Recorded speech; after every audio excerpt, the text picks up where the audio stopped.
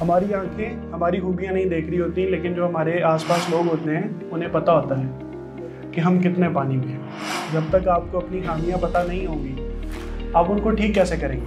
ये पता है कि ये कुछ ऐसा है जो अल्लाह ने मुझे दिया हो। तो ये तब पता चलता है जब आप खुद के साथ बैठ जिन लोगों से भी इंस्पायर है ना, जिन जैसा आप बनना चाहते हैं, आपके अंदर जो लोगों वाली आदतें भी आनी शुरू हो जाती हैं। सुकून सारा विदिन होता है? और वो तब आता है जब आप उस चीज़ के साथ इंसाफ करते हो जो आपके ज़िम्मे लगाई गई। मैं एक साइकोलॉजिस्ट हूँ। आपको पता है साइकोलॉजिस्ट क्या होता है? Good yes. क्या क्या बोलते हैं इस उर्दू में?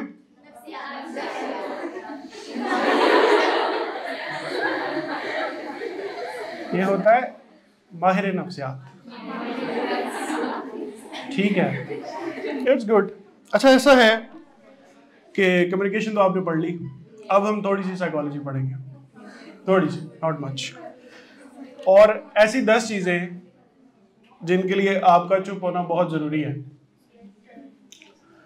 और वो दस चीज़ें, वो दस सवाल हैं जो, जिनके जवाब आपको आने चाहिए। और ये वो सवाल है जो आपको खुद से पूछने हैं।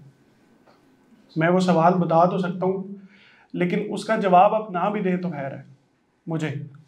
लेकिन अपने आप को वो जवाब आपको ज़रूर देने हैं। ठीक है? आप में से कोई ऐसा है जो कोई नोट्स बनाने के लिए कुछ लेके आया हो? कोई नहीं इट्स ओके फाइन ये आपको मिल जाएँगे। ये जब ये वीडियो अपलोड होगी तो ये सारे सवाल आपको दोबारा मिल जाएँगे। मेरा पहला सवाल आपसे ये है कि आप में से कितने लोग ऐसे हैं जिनको अपने नाम का मतलब पता है?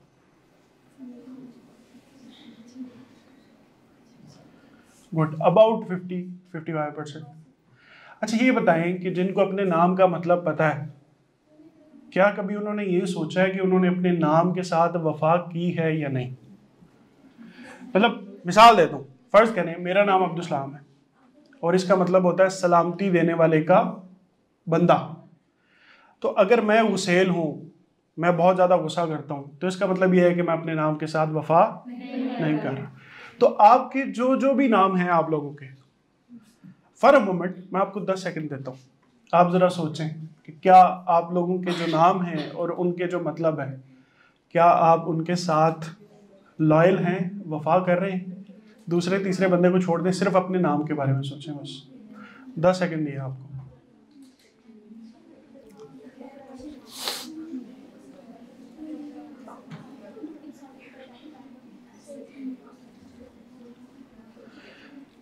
डन जी?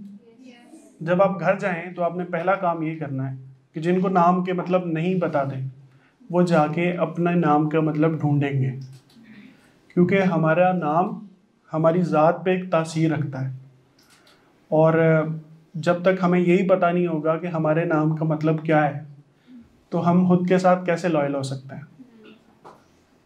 ठीक है? तो जब आपको वो मतलब पता चल जाए तो उसके बाद आपने उस नाम की लाज रखनी है।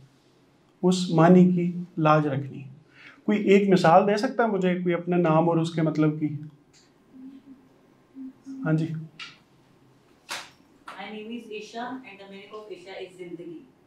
ज़िंदगी।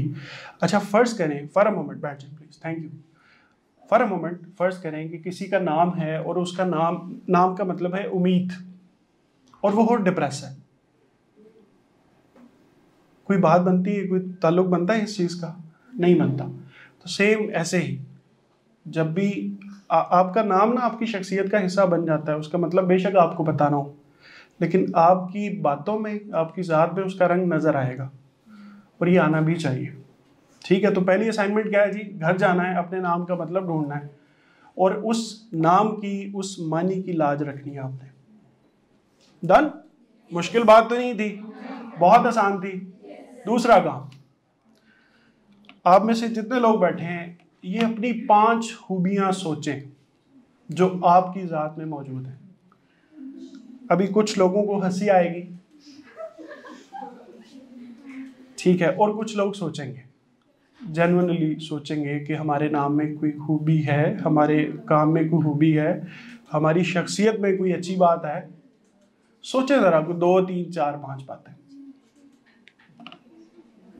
किसी से नहीं पूछनी। ये शर्त है। आपको खुद पता होनी चाहिए। अच्छा जिस चीज़ को पाँच मिल गई हैं, वो जरा हाथ खड़ा करे। चार वाले, जिनको चार मिली। पाँच मिली गुड। तीन लोग हैं जी, एक सौ बाकी कुछ बाहर बैठे हैं। उनमें से हम एज्यूम कर लेते हैं एक बंदे को। ठीक है, वो इसलिए क्योंकि अगर सौ में से तीन बंदे निकले हैं तो बीस में से कितने निकलेंगे? एक फिर भी हम रख लेते हैं उनमें से, ठीक है? अच्छा ऐसे कितने हैं जिनकी, जिन्होंने चार खूबियाँ सोची थी अपनी, जिनको लगा कि उनके अंदर ये चार क्वालिटीज पाई जाती हैं? दो लोग। तीन वाले कितने? अब तादाद बढ़ती जाएगी। गुड अच्छा दो वाले कितने? अच्छा दो वाले ज़्यादा होने चाहिए। आप फ़र्स्ट ईयर सेकंड ईयर के स्टूडेंट हैं चुनने मुन्ने नहीं है कि आपको समझना आए कि मैंने बात क्या पूछी है आपसे। अच्छा ऐसे कितने हैं जिनको सिर्फ़ एक खूबी मिली अपनी?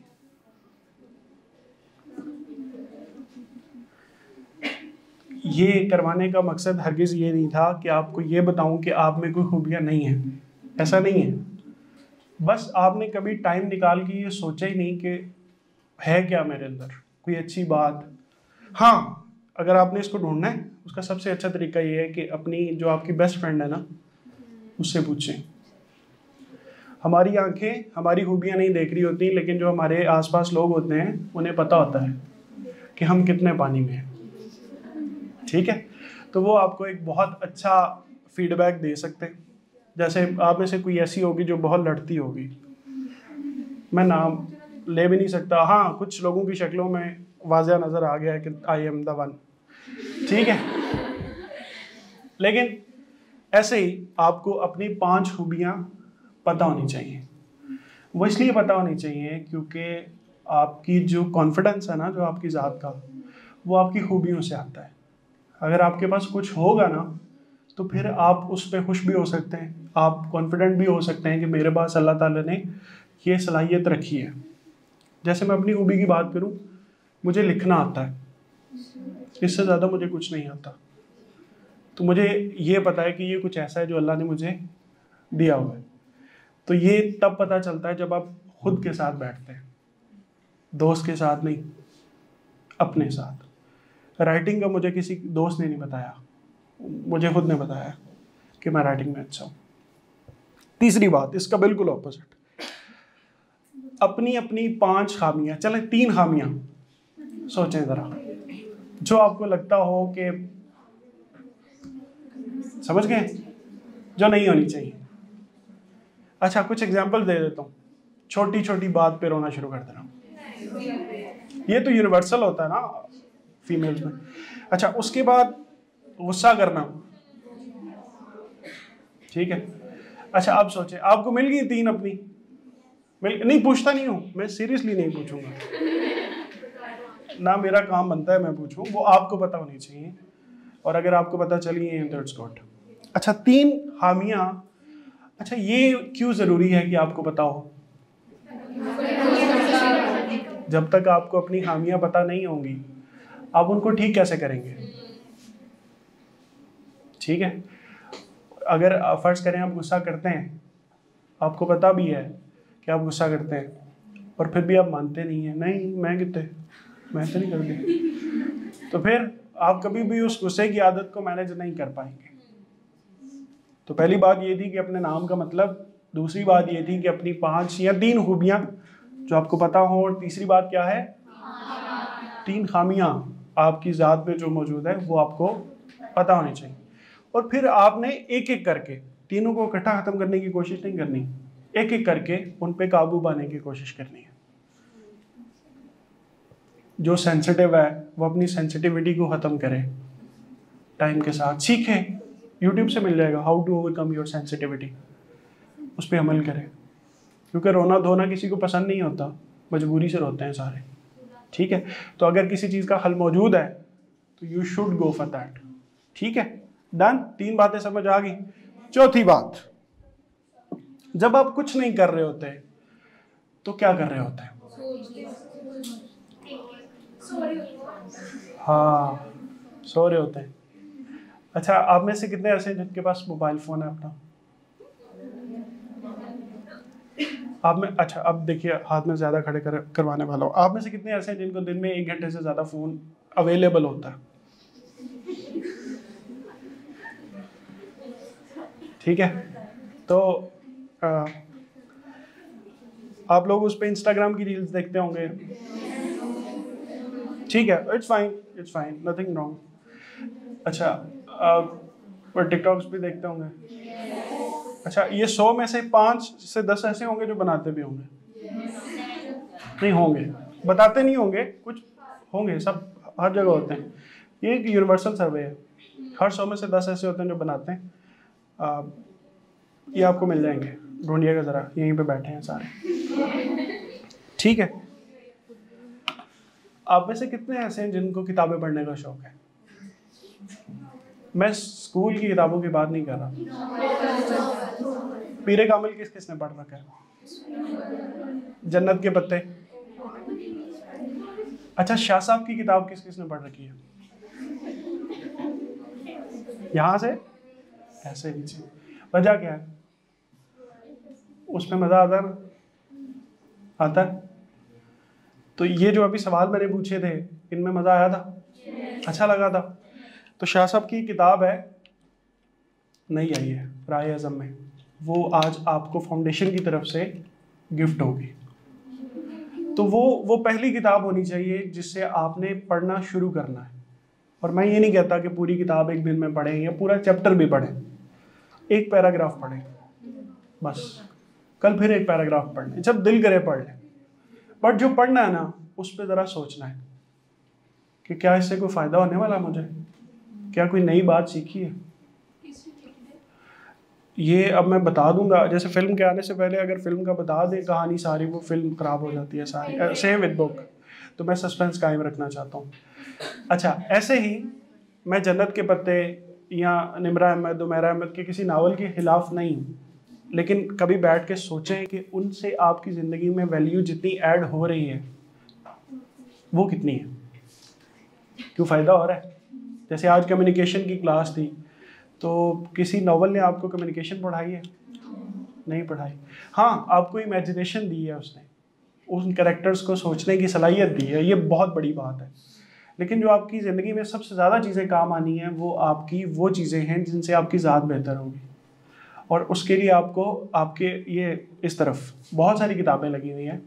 आप में से जिसको भी किताबें पढ़ने का शौक़ हो, वो इन किताबों को प्रायोरिटी रख लें।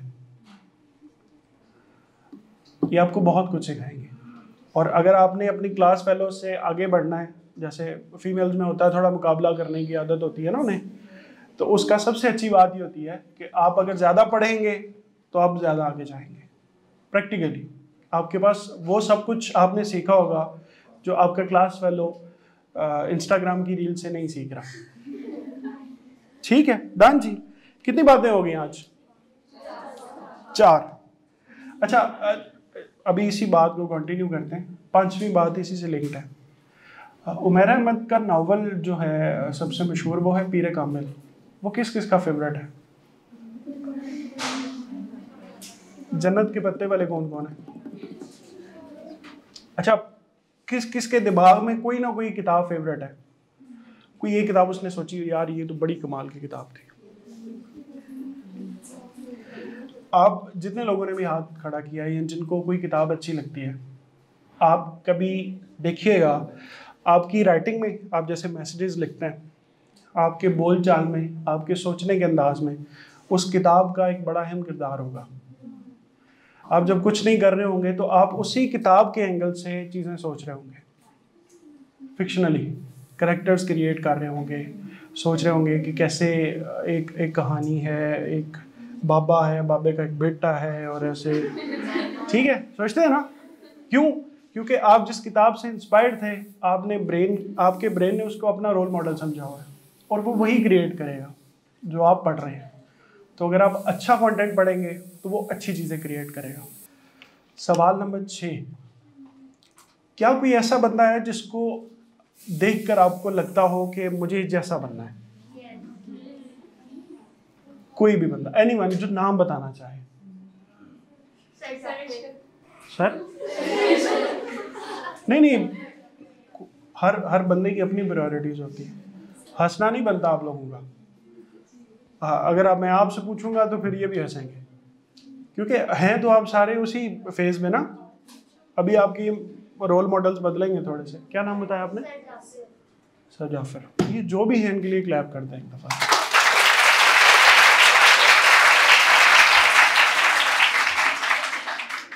क्लैप इसलिए करवाई है कि किसी भी बंदे के दिल में वो कोई भी हो उसके दिल में अपना एहतराम पैदा करना रिस्पेक्ट पैदा करनी ये बहुत मुश्किल काम है। और आप जिन जिन से भी जिन लोगों से भी इंस्पायर है ना जिन जैसा आप बनना चाहते हैं आपके अंदर उन लोगों वाली आदतें भी आनी शुरू हो जाती हैं। करवा दें जी सर अर्शद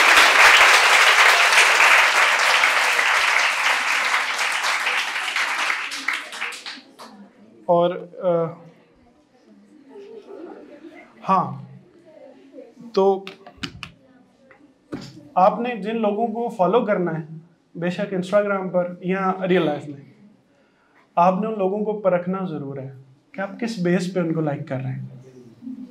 क्या कोई कोई सुपरफिशियल बात तो नहीं है? ये तो नहीं है कि वो दिखता अच्छा है सिर्फ़ इसलिए। करते हैं ना सब करते हैं। या सिर्फ़ इसलिए है क्योंकि वो स्टंट बड़े अच्छे मारता है, इसलिए उसका नाम टाइगर श्रॉफ है। तो हम उसको फॉलो करेंगे। नहीं, ऐसा नहीं होना चाहिए। जिसको भी फॉलो करें, उसको परखें ज़रूर कि वो कितना अच्छा है। आपसे कितना रेलिवेंट है। क्योंकि आप जिससे इंस्पायर हो रहे होते हैं, वो आपके अंदर, आप उसके, उसकी क्वालिटीज़ आपके अंदर आ रही होती हैं। ठीक है? समझ आ गई बात? मुश्किल बातें तो नहीं कर रहा ना आ रही है। अच्छा अगली बात, सबसे मुश्किल। अभी मैं करवाने लगा हूँ कुछ लड़ाइयाँ। और उसका सबसे आसान तरीका ये है कि आपके जो दोस्त है ना, करीबी दोस्त, आप ज़रा एक मिनट के लिए उनको एनालाइज करें कि उनकी कौन सी ऐसी आदतें हैं जो आपको नहीं पसंद?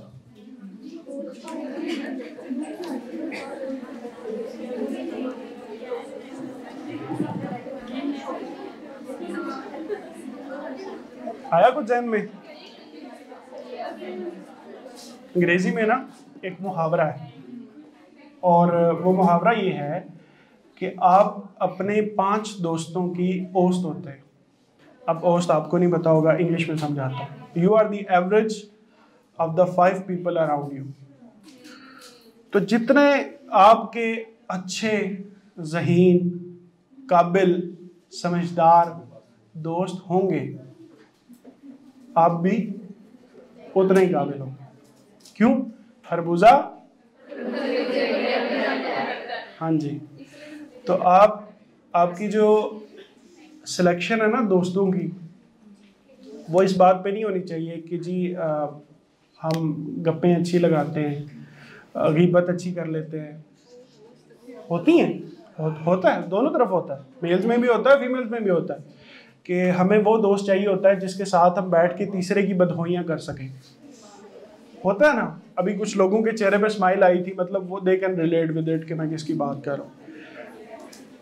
दोस्त और दोस्त के साथ होने वाली बातचीत, इसको एनालाइज करें कि वो कितनी क्वालिटी की गपशप हो रही है। ठीक है? जो बिलो एवरेज लोग होते हैं ना बिलो एवरेज मेचोरिटी वाले, वो लोगों को डिस्कस करते हैं। यार इसने ये कर दिया यार उसने वो कर दिया यार उन्होंने वेखी ਉਹਦਾ सूट ਵੇਖਿਆ ਸੀਗਾ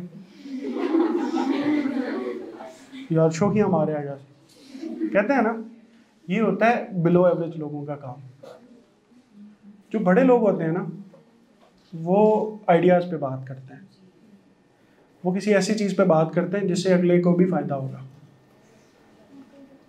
ठीक है तो ऐसे लोग जो आपके साथ बैठ के सरगोशियाँ करते हैं, गिबत करते हैं, चस्के लेते हैं, होते हैं ऐसे, हर हर जगह होते हैं, उनसे दूर हो जाएँ।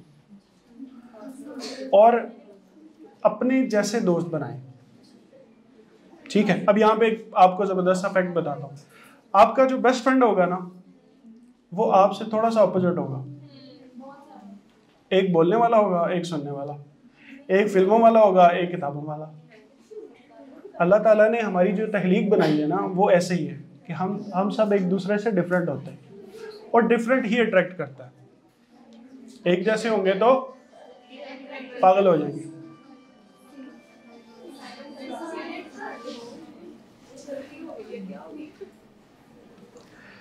कितनी बातें होगी आज? सात। मैं आगे जा रहा हूँ आप लोगों से। आठवीं बात। आप में से किस किस को लगता है कि जितना टाइम वो पढ़ाई को देता है, वो इंसाफ कर रहा है अपनी किताबों के साथ और अपने फ्यूचर के साथ? आप में से सबसे लाइक कौन है? Okay let me change the question like की कोई डेफिनेशन नहीं होती। आप में से किसके नंबर अच्छे आते हैं? अच्छे मतलब सेवेंटी परसेंट प्लस और जो बाकी हैं, क्या उनको कभी ये फील आई कि मैं अपनी किताबों के साथ या अपने फ्यूचर के साथ मैं इंसाफ नहीं कर रहा? सॉरी कर रही। हो जाता, है जाता। तो आज सातवीं बात ये है। गुड वेरी नाइस ये बहुत ज़रूरी था कि आपको जगाए रखना। अच्छा चले, कोई बात नहीं। दूसरी दफ़ा बजाना फ़ोन है। तो बात ये है कि आप, आपका जो पूरा फ्यूचर है ना आगे, आपका यूनिवर्सिटी का एडमिशन उसके बाद आपकी सारी ज़िंदगी, उसमें सुकून नाम की कोई चीज़ नहीं होगी। जो, जिसने आपको कहा कि एफ़ के बाद सुकून है, नहीं है। यूनिवर्सिटी के बाद है, नहीं है, कहीं भी नहीं है। सुकून सारा विदिन होता है। और वो तब आता है जब आप उस चीज़ के साथ इंसाफ करते हो, जो आपके ज़िम्मे लगाई गई है। और इस वक्त आपके ज़िम्मे सिर्फ़ एक काम है। पढ़ाई। हम यहाँ पे होते हैं, कासिम अली शाह फाउंडेशन में आज आप आए हैं, कल कोई और आया था, उससे पहले कोई और आया था। तो हम जब यहाँ से साइन ऑफ़ करते हैं चार बजे तो हमारे दिल में खुशी होती है कि आज हमने किसी की ज़िंदगी में कोई वैल्यू ऐड की है। आज हमने अपना काम पूरी ईमानदारी से किया है रिस्पॉन्सिबल होके किया है। और वो सुकून ना तो कोई नई चीज़ें खरीद के आता है, ना काम चोरी करके। वो तभी आता है जब हम अपने काम के साथ इंसाफ करता है। और यही काम आपने करना है। मैं ये नहीं कह रहा कि सिर्फ़ आज, आप फ़र्स्ट ईयर सेकेंड ईयर में हैं, सिर्फ़ आज करना है। आपने हमेशा करना है। क्योंकि इटर्नल पीस है ना जो आपका सुकून, वो उसी काम से रेलिवेंट है जो आपके ज़िम्मे है। जो आपने खुद अपनी ज़िम्मेदारी पे लिया हुआ है। और इस वक्त वो पढ़ाई है। ना उससे कुछ ज़्यादा, ना उससे कुछ कम। आप में से किसी ने कभी किसी फ़कीर को पचास रुपए दिए? सुकून मिला? मिलता है ना? ठीक है। वही सुकून, वही उसी पार का सुकून, वो तब मिलता है जब आप अपने काम ठीक तरीके से करते हैं। जब शाम को आप सब काम ख़त्म करके जब आप सोचते हैं ना कि आज का दिन था और मैंने इसके साथ इंसाफ किया है। तो फिर मिलता आपको वो सुकून। तो आज के बाद हमारी पांचवी बात ये थी। आठवीं। नौवीं। वेरी नाइस अच्छा अब अगली बात ये है। इसको हम साढ़े लोगों का नाम दे देते हैं। बिल्कुल इसका ऑपोजिट अब में से जो इंस्टाग्राम रील्स देखता है इट्स फाइन कोई मसला नहीं। मैं नहीं कहूँगा कि ना देखें। But set a time slot for that time आप में से कुछ ऐसे भी होंगे जो दो दो अढ़ाई ढाई घंटे उनको काम ही नहीं करते होंगे। सिर्फ़ वही देखते होंगे। ठीक है? आप अपने आप को इस काम में लिमिट कर लें। दस मिनट रोज़ाना कम कर लें। आइडियली आपको 15 से 20 मिनट से ज़्यादा ये काम नहीं करना चाहिए। अच्छा आपको पता है उसकी वजह से हमारे जहन पे क्या फ़र्क पड़ता है? पता आपको? दिखाऊँ? क्या फ़र्क पड़ा? प्रैक्टिकली मेरे पास मेरे पास भी है ना वही, जो आप यूज़ करते हैं। स्क्रीन देख रहे हैं? नज़र आ रहा है सबको? बाहर भी आ रहा होगा। अच्छा। ये ऐसे ही करते हैं ना आप लोग? आपको पता है इसे होता क्या है? जो आपकी फोकस करने की पावर है ना, ख़त्म हो जाती है। क्यों? क्योंकि हर दो सेकंड बाद बात ही तब्दील हो जाती है। आप कोई किताब पढ़ रहे हैं, वो शुरू से एक बात से शुरू करेगा और उसको एक टॉपिक पे ला के कंक्लूड करेगा। ऐसा तो नहीं होगा कि कायद पे ऐसे और वफात जो है वो इकबाल साहब की बता रहा है। नहीं होगा ना? नहीं होता। लेकिन यहाँ पे हर डेढ़, दो सेकंड, पाँच सेकंड बाद आपकी अटेंशन एक इंटायरली दूसरी चीज़ पर चली जाती है, जिसका पहले से कोई ताल्लुक ही नहीं था। तो हमारे दिमाग को साइंस में या साइकोलॉजी में हम कहते हैं बंदर। बंदर जैसे एक दरख्त से दूसरे पे, दूसरे, तीसरे तीसरे चौथे सेम आप लोग भी। सेम में भी। क्यों? क्योंकि दिमाग है प्रोग्राम इस काम के लिए। आपने उसे अगर काबू करना है ना तो उसे किसी एक काम पे फोकस करवा दें। और उसके लिए आपको ये आदत लिमिट करनी पड़ेगी। आप मैं आपको एक डायरेक्ट प्रपोर्शन बता देता हूँ।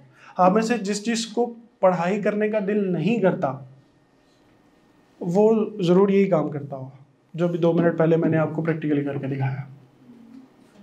ठीक है? क्योंकि किताबें खुली, और ध्यान कहाँ चला गया?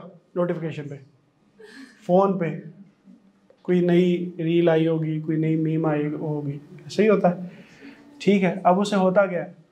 वो जहाँ पे होना चाहिए था, वहाँ पे आप नहीं है। और जो काम करने वाला था, वो तो रह गया। फिर उसका फ़ायदा नहीं होगा। तो मैं आपको ये नहीं कह रहा कि आप इंस्टाग्राम की बिल्कुल ही छोड़ दें, कोई ज़रूरत नहीं है। बी अपडेटेड सब यूज़ करें बट लिमिट योर सेल्फ कोई भी चीज़ बहुत ज़्यादा तादाद में की जाए या क्वांटिटी में की जाए। Yes excess of everything is आवाज़ नहीं आई। अभी भी नहीं आई। बैड बोलना था। अब मैं कह रहा हूँ एक्सेस ऑफ़ एवरीथिंग यस हम करेंगे। नहीं करना। यही तो रोक रहा हूँ। अच्छा जी, आखिरी बात। पॉइंट नंबर टेन अब में आप प्री मेडिकल वाले कितने हैं इधर इंजीनियरिंग वाले। आप बाकी क्या पढ़ रहे हैं? आई सी एस अरे वाह, क्या बात है। अच्छा जो हैं प्री मेडिकल वाले, आप में से किस किस ने सोचा हुआ है कि उसने डॉक्टर बनना है? गुड नाइस और आप में से किस किस को ये जो कंप्यूटर्स वाले हैं, किस किस को डेटा साइंसेस का पता है? मशीन लर्निंग का किस किस को पता? आर्टिफिशियल इंटेलिजेंस का किस किस को पता? अच्छा किस किस का कोई प्लान है कि जब ये डिग्री ये जब ये आपकी एफएससी हो जाएगी तो उसके बाद यहाँ आईसीएस हो जाएगा तो उसके बाद उसने यूनिवर्सिटी आपको पता है? पक्की बात है? क्या होती है डाटा साइंस देख लें, आप 120 में से एक बंदा निकला जिसको पता था। कि ये भी कोई फ़ील्ड होती है? नथिंग रॉन्ग ये अभी तक आपने खुद नहीं ढूंढा। इसमें किसी का कोई कसूर नहीं है। ना टीचर्स का, ना पेरेंट्स का। ये आपने खुद बताना था खुद को। तो आज आगे ढूंढना है आपने कि आप जो पढ़ रहे हैं, इसमें आगे आपके पास करियर ऑप्शंस क्या हैं? ठीक है? अगर आपका मेडिकल में नहीं होता तो फिर कुछ तो सोचा होगा ना आपने। एफ़ कितने मार्क्स थे मैट्रिक में? अरे वाह तो ज़्यादा थे। मेरा भी ए प्लस ग्रेड था बट मार्क्स इनके ज़्यादा अच्छा तो आप लोग जो कुछ भी पढ़ रहे हैं I C S F S C ठीक है always keep a plan A and plan B ठीक है, अगर इन इन केस आपका मेडिकल में नहीं होता तो यू शुड नो कि अगर ये नहीं है तो फिर क्या है? ठीक है, उसकी वजह ये है, आप आप में से आप हमें किस चीज़ से मोटिवेशन मिलती है? अच्छा फ़र्ज़ करें। कि मैं आपसे ये कहूँ, आप आप में से किस किस को कल बताया गया कि फाउंडेशन आना था? कल कल किस किस को पता था कि आप लोगों ने आज इधर आना? सबको पता था। अच्छा ये बताएँ कि किस किस को ऐसा लगा कि शाह साहब से जाके मिलना है? सबको लगा था। बिल्कुल ठीक है। अच्छा ये बताएँ, तीसरा सवाल किस किस को सुबह जल्दी आँख खुल गई कि आज कहीं जाना है? हाँ नॉर्मली ऐसा नहीं होता ना? क्यों हुआ? नमाज़ के वक्त आँख खुली। इसलिए हुआ, क्योंकि आपको आगे कुछ ऐसा नज़र आ रहा था जो नॉर्मली आपको नहीं आता। एक एक्साइटमेंट थी, आपने बाहर आके हुर्रा भी किया एक दफ़ा। आप ही थे? या कहीं और से आवाज़ आई थी मुझे? इट्स ओके गुड कोई मसला नहीं. जो भी आपके प्लान्स हैं, वो किसी पेपर पे लिखे होने चाहिए. आप में से जो जो डायरी लिखता है, अगर नहीं लिखते तो लिखना शुरू करें. उस पर आपके कुछ प्लान होने चाहिए कि आपने बनना क्या है. ठीक है? आई वॉज़ होपिंग कि आपको डेटा साइंसेस और मशीन लर्निंग का पता होगा. बट अगर नहीं पता तो कोई बुरी बात नहीं है. इट्स नॉट टू लेट अभी आपकी उम्र कोई चालीस, पचास साल तो हुई नहीं है। तो अभी जाकर आप जो कुछ भी पढ़ रहे हैं गूगल करें कि career options for I students आपको लिस्ट मिल जाएगी। अब उस लिस्ट को भी आपने एनालाइज करना है कि इसमें मुझे क्या पसंद है। मैं अच्छा क्या कर सकती हूँ या कर सकता हूँ, ये मैंने अपने लिए कहा। ठीक है? वो इसलिए ज़रूरी है क्योंकि अगर आपको आगे कुछ नज़र नहीं आएगा ना तो फिर ज़िंदगी बोरिंग है। अब कुछ भी, आप जिन्हें लाया गली में नाली चली ठीक है? दोबारा बता देता हूँ। करना ये कहावत दोबारा बता दूँ? हाँ ये होता है, जिन्हें लाया गली, मैं उधर नाली चली मतलब जो गपशप लगाएगा, जहाँ बैठ गए, जहाँ दिल किया हो जो समोसे खाते हैं समोसे खाने बैठ गए। आप में से कई लोग एक गलत फैसला करने वाले और उस गलत फैसले से रोकने के लिए मैंने आपको ये बात कही है। आप में से कई लोगों का अभी प्लान बन रहा होगा कि यार मैंने बीबीए करना है या मैंने ये वाली डिग्री करनी है तो आना दोनों बहनें साथ मिलकर करेंगे। ठीक है? If not now in next four six months ऐसा क्यों होगा? क्योंकि आपकी दोस्तियाँ बहुत अच्छी हैं। पर आपका दिल करेगा, मेरा दोस्त मेरे साथ रहे। बट फॉर अ मोमेंट सोचें कि उस दोस्त ने तो वो डिग्री करनी नहीं थी। उसने आपकी वजह से अपना बड़ा घर कर लिया और आपने अब उसकी वजह से। तो दोस्त रहेंगे आपके साथ, लेकिन दोस्त की वजह से ये रेड रेस का हिस्सा नहीं बनना। कि दोस्त ने कहा है कि ये वाली डिग्री करनी है तो मैंने ये वाली कर लेनी है। ठीक है? चूज़ योर ऑन ऑप्शन जो आपको, जो आपके दिल को अच्छा लगे। पढ़ें डेटा साइंसेस के बारे में जाके पढ़ें मशीन लर्निंग के बारे में जाके पढ़ें। अगर ये आपको फैंटसाइज करता है तो गो फॉर इट ठीक है? नहीं करता? करेगा। लेकिन हर किसी को नहीं करेगा। अब से हर एक की डायरेक्शन डिफरेंट है। ठीक है? मैंने मेडिकल किया था और मैंने तब मेडिकल किया था प्री मेडिकल जब मुझे पता भी नहीं था कि साइकोलॉजी होती है। ठीक है? इन दी एंड कहाँ आगे रुक गए? साइकोलॉजी पे।